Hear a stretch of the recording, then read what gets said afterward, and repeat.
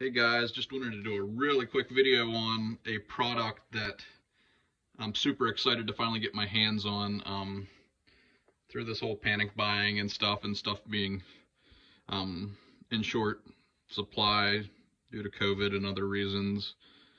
I've been trying to get my hands on this Hornady lock and load conversion kit. I love the um, design of the lock and load that Hornady uses on their reloading presses.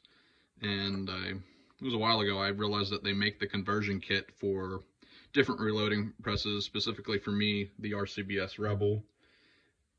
I chose the RCBS Rebel as you can see right here. Let's get this camera up here. I chose it not only because it was available when other presses weren't when everybody started jumping on the reloading bandwagon when ammo started getting scarce. But um, on top of it being available, I liked the design. Um, it's a bigger, more sturdier design. It's a newer press for RCBS, but the only flaw was it didn't have the correct threads for using the lock and load, load adapter. So it's the first time getting it out of the package, so you're going to learn with me.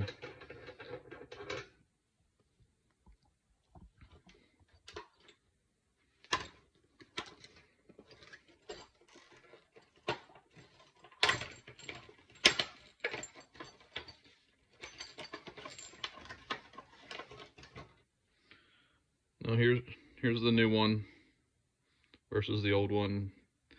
I don't know exactly how you tighten this down. I'm going to just do it hand tight and then maybe take some channel locks and just give it a slight nudge to seat it. But I'll hang on to this if I ever have to use it again. But hopefully I'll be good to use the Hornady lock and load collets now.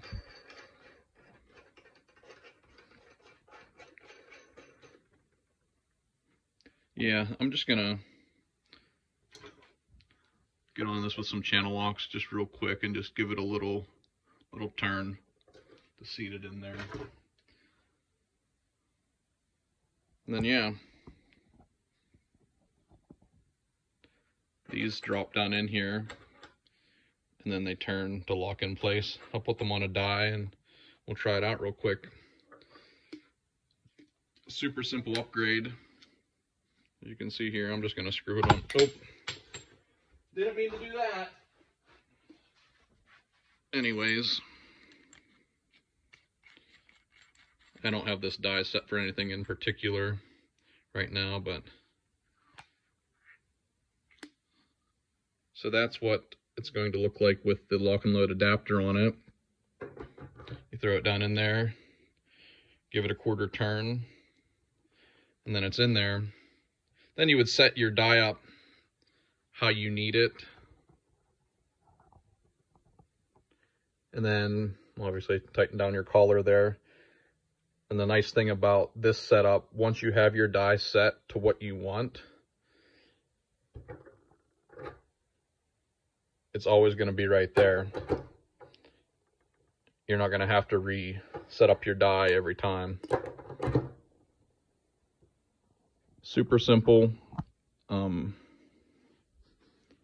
it comes with with three of the uh, collars. And then you can buy just more collars, which I'm going to have to do.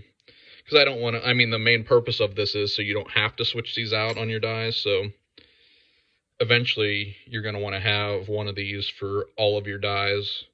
So, I mean, that'll be my next purchases. I'll hopefully every time I make an order from Brownells, I'll just add some more to my cart.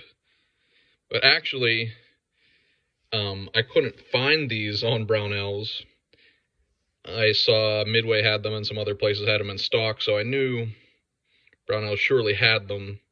So I found the manufacturer's product number and searched it on Brownell's site, and it came up with this little hint that that they um don't have them in stock, but Sinclair International which is owned by Brownells and ships out of the same warehouse, had them. So if there's a, ever a product you can't seem to find, try finding the manufacturer's number, plug it in, and if one of Brownell's um, sister companies has it in stock, you should still be able to find it and order it. And a little tidbit um, through Sinclair International, your um, gift cards and also my Edge membership worked for free shipping for this. So, yeah, if you have an RCBS press or another press that's not a Hornady and you like the setup with the lock and load dies, I highly suggest this. If you have any questions, um, I can try to answer them as best as I can. As I said, this is all new to me too. But um, questions or comments, leave them below. Thanks, guys.